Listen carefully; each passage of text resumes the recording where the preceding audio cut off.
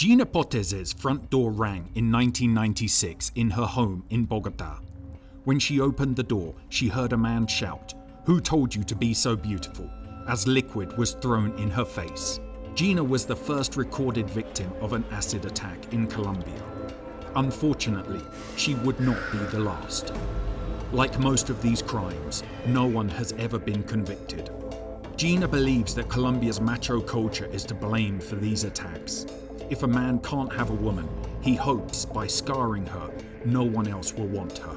Eh, eh, la intención que hemos encontrado nosotros es, o que hemos identificado es desfigurarla, es borrar su identidad, es dejarla marcada de por vida, es de alguna manera dejarle un mensaje donde le dice, si usted no es para mí, no va a ser para nadie. ¿Quién la mandó a ser tan bonita? Since then, Gina has dedicated her life to trying to stop the alarming wave of acid attacks against women in her country. In the office of the Reconstructing Faces Foundation, created by Gina in Bogota, a sign says, Because a scar doesn't make me any less of a woman. In the last 10 years, more than 900 women have suffered acid attacks, according to the Colombian Legal Medicine Institute. Globally, the Acid Survivors Trust International report a yearly rate of 1,500 women attacked in countries like Pakistan, India, where macho culture is also predominant. Acid attacks are just a small part of violence against women in Colombia. Last year, there were nearly 50,000 reported cases of domestic abuse, a rise of 20% on the year before. According to the police, 345 cases were denounced as femicides, the killing of women for being women. For victims of an acid attack, the scars go well beyond the physical. Women suffer a double blow as society discriminates against them. Digamos que te miren mal, que un bus o un taxi no te paren porque te ves rara o porque creen que le puedes prender alguna clase de, no sé, de, de virus o algo, porque lo han manifestado las mujeres. Hemos encontrado también que a nivel laboral la discriminación es muy fuerte. Acid attacks condemn the victims to years of surgeries and medical checkups. Some women have had over 80 operations to restore their faces to the best the doctors can. No, es divina. Patricia Espitia works as communications director at Gina's foundation. Like Gina, she too suffered an acid attack on Colombia's streets 10 years ago. She had no idea who did it. No one has ever been charged. Gina and Patricia consider themselves ambassadors for scarred women, explaining their hardships to a society that too often turns its back on them.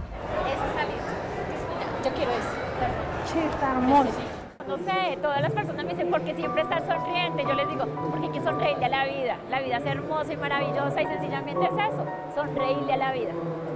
Today, they're preparing a show in Bogota's largest shopping centre to raise awareness for survivors of acid attacks. Gina said she created this foundation when she stopped feeling sorry for herself five years ago. El concepto de víctima cambia en el momento en el que yo dejé de ser una para convertirme en una sobreviviente. Ya puedo ponerme una blusa donde se evidencia una cicatriz que no la puedo ocultar de ninguna manera. Yo era una que, por ejemplo, usaba mucho eh, los cuellos hasta acá eh, porque esa cicatriz siempre me dolió muchísimo. Pero entendí un día que así soy, que qué vamos a hacer y pues habrá quien, quien no le guste, pues lo siento y nada, yo para adelante sin mirar atrás. It's a transition that has boosted her confidence, and now she wants to share her confidence with others who have survived similar attacks. Her foundation is often invited to participate in public talks to raise awareness about violence against women. Tengo el primer triste lugar de quemaduras con ácido en Colombia hace ya 20 años, porque todos los días nos están matando, nos están acabando, nos están apagando nuestras vidas. ¿Cómo nosotros podemos prevenir la violencia contra la mujer? Enfrentándola de frente, educándonos y conociendo de nuestros derechos. Gracias, chicos. Plaza de las Américas, que se une a todo este esfuerzo.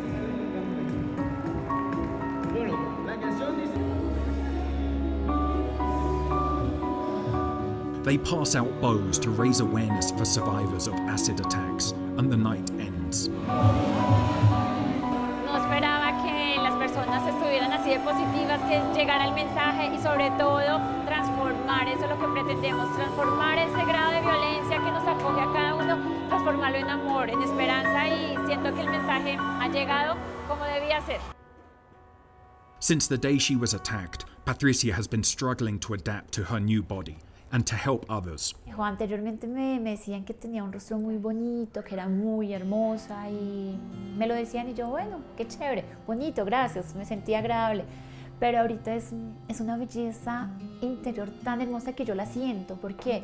Porque no es lo mismo que ya no tengo ese rostro, ese físico de antes, que la persona amiga es que eres hermosa, tu forma de ser, esa fuerza que tienes, eso me llena más y me agrada más.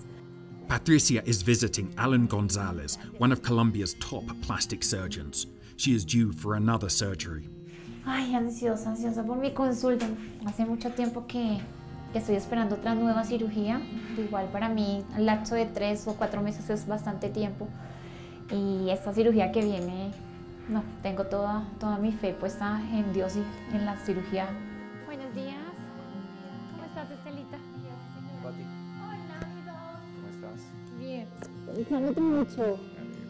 Dr. Gonzalez was treating those disfigured by landmines and explosives in Colombia's civil war when he was introduced to Gina. Since then, he has been working with those who have suffered acid attacks. Aquí estaba viendo en, en julio del 2007 fue tu primera cirugía, ¿no? Yo no me imaginaba que, que existían tantas mujeres con ese problema en el país. Nosotros veíamos que en Oriente Medio habían problemas de ese tipo, pero no que teníamos nosotros dentro de nuestra sociedad ese problema. Y curiosamente empezamos a operarlas y empezamos a encontrar que no solo era un, problema de cicatrices, era un problema de, de vida, de futuro, de esperanza, de familia. Ahora lo importante es tener claro que como todos estos procesos de reconstrucción nos van tomando cada vez más tiempo, que es el crimen más atroz porque es un cambio físico que definitivamente es irreparable, que una paciente perfectamente se puede llevar entre 30 hasta 80 cirugías para poder mejorar un poco las características de su aspecto, eh, son lesiones que nunca se van a quitar, queda uno atrapado en su propio cuerpo. Dr. Gonzalez and other doctors are helping these women with the surgeries, mostly free of charge. y que este tipo de cirugías reconstructivas estéticas faciales son bastante costosas. Entonces por eso decidimos dejar un rubro de lo que pagan nuestros pacientes de cirugías plásticas estéticas para eh, tener un fondo de ayuda a los pacientes de reconstrucciones de caras. Nosotros pagamos todo. This is a lifeline for the women. Most come from poor backgrounds and would find it impossible to pay for such surgeries.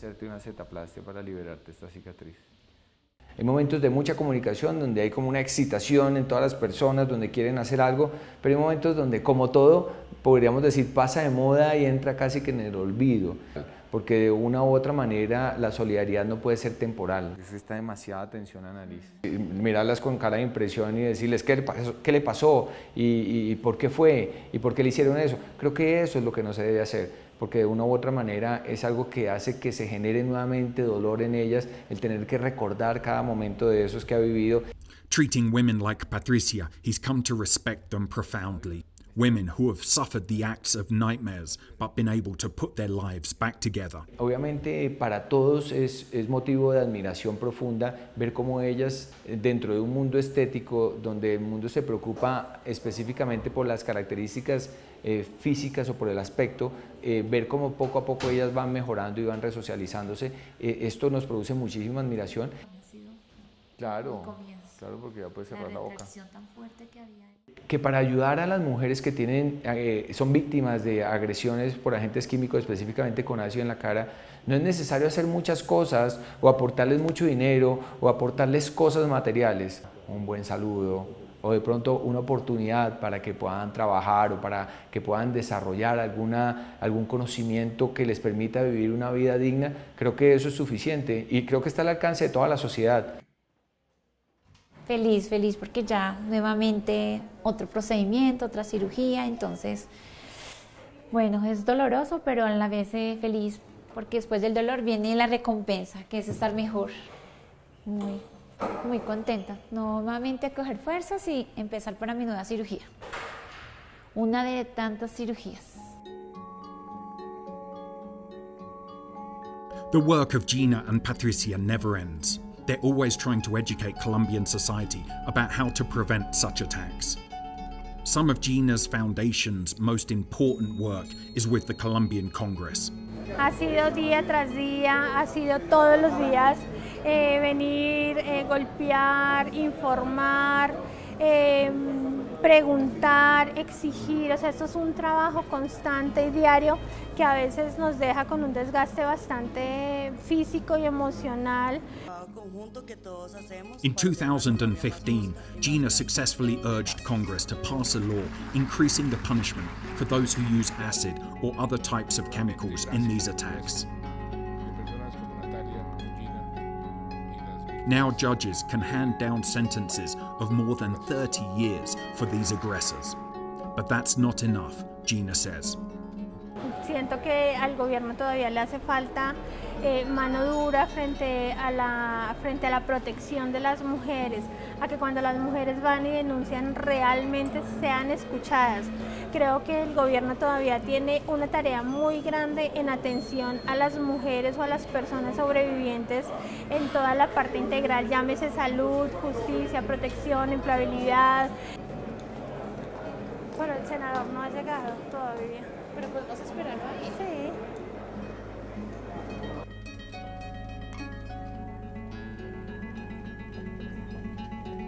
Senator Roosevelt Rodriguez has allied himself with Gina's work. Me voy con Gina a escucharla, me voy a su fundación, conozco las mujeres que están detrás de toda esta situación y por supuesto me cambia la, la idea de, de, de, del tema. Aumento de las penas logramos visualizar este es un problema social que va en aumento, que va en crecimiento en el país y por supuesto del que no teníamos conocimiento casi. No hay una política coherente, permanente en favor de, mejorar la situación de, las víctimas. Que el Estado se interese en ellas es que no solamente es el problema físico, es el problema social en el que ellas viven. Muchas de ellas no tienen eh, nada eh, para sobrevivir, no tienen una forma de, de, sus, de solventar, de, de satisfacer sus necesidades más básicas, ni tampoco las de sus familias. He credits Gina for raising awareness of this problem and the passing of the law, which also restricted the sale of acids and other similar chemicals.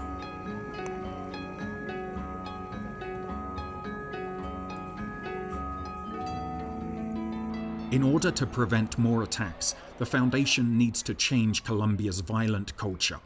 And the best place for that is in the schools.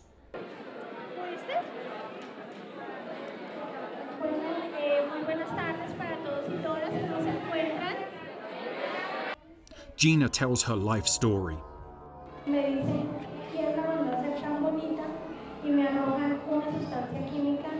Me dicen, quiero la ser tan bonita y me arrojan una sustancia química que me gran parte del cuerpo, especialmente la cara, el cuello y el pecho.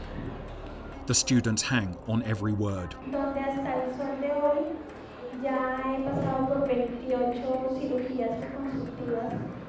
Her main message is to teach these teenagers to respect themselves enough to leave any relationship that turns abusive.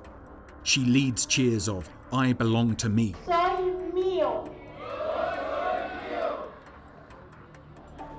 Some take away the lesson of perseverance. Que no importan los obstáculos que uno tenga en la vida, siempre que, que, hay, que hay que continuar y no hay que frenarnos por el obstáculo que llegue.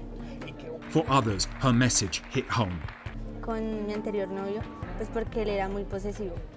pero pues uno tiene que cortar desde, el, desde ese momento que se, ha, que se ha vuelto celos enfermizos, posesión, o sea, desde ese momento hay que cortarlo. Y pues creo que hice lo correcto, pues porque para no llegar a una conclusión lamentable.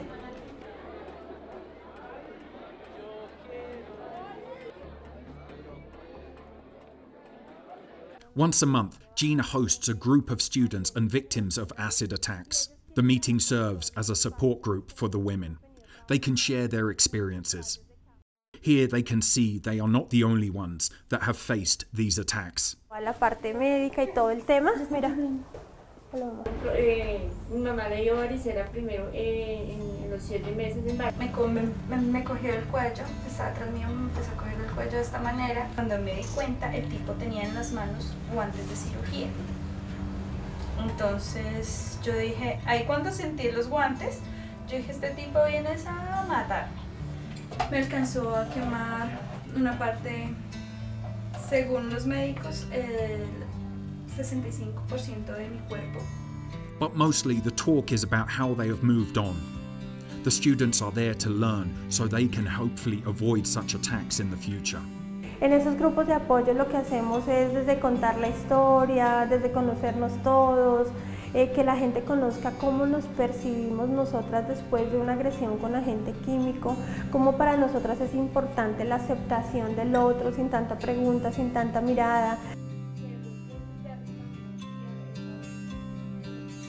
y que también comparta porque muchas veces encontramos que las cicatrices no solamente son externas, sino también internas y no solamente las portamos nosotras, sino también los demás. The point of these meetings is to show the women that they can move on. A laugh between them. They've been through the worst, but still they can smile. Ahí se